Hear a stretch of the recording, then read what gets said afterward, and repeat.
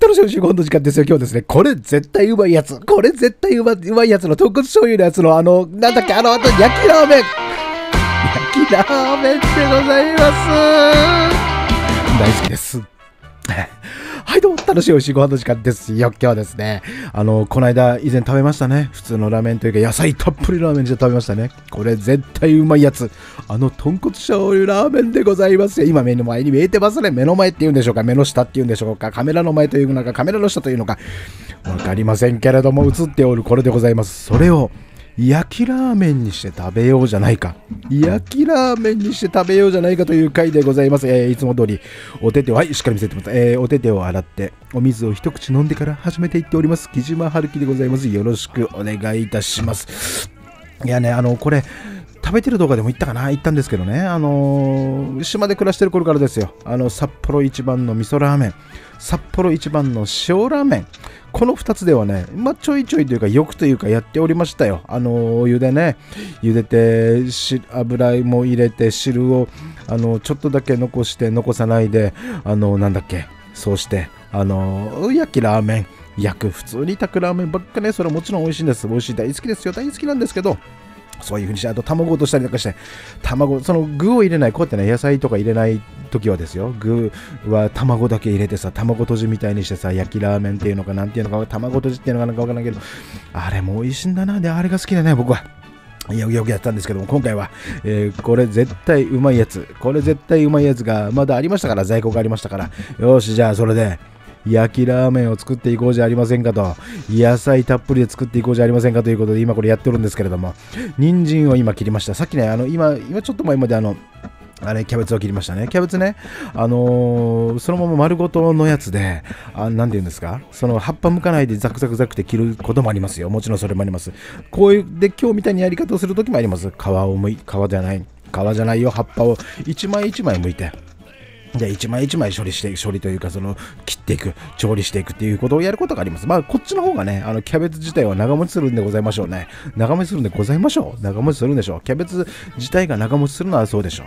一人暮らしですから。いくらねあの木島春樹という木島君といえどもですよ。一人暮らしでございますから。こんなねキャベツをさ買ってきて1日2日で全部食べるっちゅうわけにはいかないというか食べるわけじゃないんですよね。となると1週間ぐらい見るわけですよ。1週間ぐらい。一週下手したらね1週間以上になる時もあるの。そういう時のことを考えるとこれから余計暖かくなってくるじゃない暖かく。気温が上がって花粉もバンバン飛んでねもうこれからっていうかもう今飛んでますよ。今でも。でもねやっぱ部屋の換気したいからって今も部屋開けてるんだ。こっち開けててさだからそうだ。だからあんまり大きな声で喋らないようにしようって考えながらこれ始めたんだけど途中で忘れてならないように気をつけよう。そう。そうやってさ飛んでるしだから開けてさで寒いうちはもう前にも何回も話してると思うんですけどあれなんですよ。外野菜野生たちはさ大概外でさベランダの外側じゃないですよ。ベランダの内側でビニール袋をぶら下げてその中にキャベツやらナスビやら、まあ、豆やらもう何でもブロッコリーでも何でもね冷蔵庫の冷蔵庫じゃない なんで冷蔵庫って言ったら、ね、ベランダの内側に。やって保存しておるんですけどももうこれから暖かい時期になってくるとそれをまたあれは冷蔵庫に入れないとまたすぐダメになるわなこれはな。そうですよ。麺が茹で上がりました。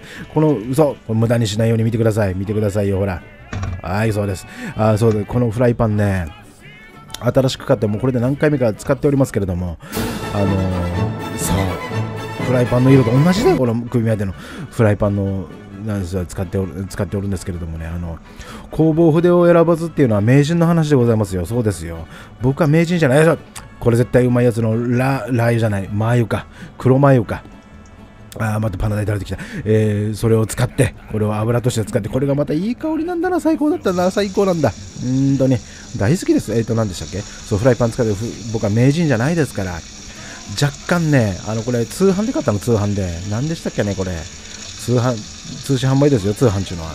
他の通販っていうのは僕は何のことなのか分からないけどそう買ったんだけど人参硬いのから入れようっつって魚肉ソーセージをうまみで出してもらおう、えー、人参硬いから先に入れようっていうキノコはいい香りだったらさこのキノコもこのキノコも最高でした。舞茸ね舞茸さん。最高でした。えっと何でしたっけそう通販で買ったんですけれどもねあの非常に優秀でいいと思いますいいんですけど前のやつがね前のフライパンが僕にはぴったり合ってたんだこの絵の長さね絵の角度ちょっとこれ短くて角度が立っておるというか角度が急なんですねこれはこのフライパンはなのでフライ返しというかトントコトンして天才味付け卵焼き巻く時とかそういったところでまだ慣れない部分がありましてこうやっててねあれやっぱりこうちょっともう何回か使ってるけどちょっとな今のガッツポーズはいい香りだいい香りだっていうあれです。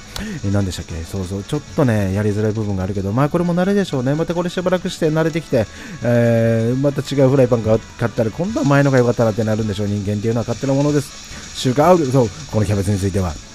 あの茎というか芯というかあの芯ではないかあの硬い部分を先に入れました。ねそれぐらいのことはやりますよ。いくら自分が食べるものだからそんな関係ないとか言ってもですよ。まあね美味しく食べれば関係ないんだけどまあそうなんだけど一応そんぐらいのことは木島君だって気をつけます。気をつけるっていうか気を使いますよ。ほらキャベツだってしっかり洗ってね。あのー、キャベツでもレタスでも一応は洗いますよ。あのー、ね、洗わないでも特に中、内側の方は大丈夫なんだろうなと思ったりもするけどね。一応念のためじゃないけど、それぐらいさ、まあこれ映ってるからじゃないですよ。映ってない時だって僕はそのぐらいキャベツぐらい洗うんですから。それぐらいやります。ああ、いいね。いい色だな。いい色だ。これね、正直ね、あのー、キャベツ剥いて切ってる時はすごいわしゃわしゃわさわさしてしっかり多く感じるでしょ。多く感じるわね。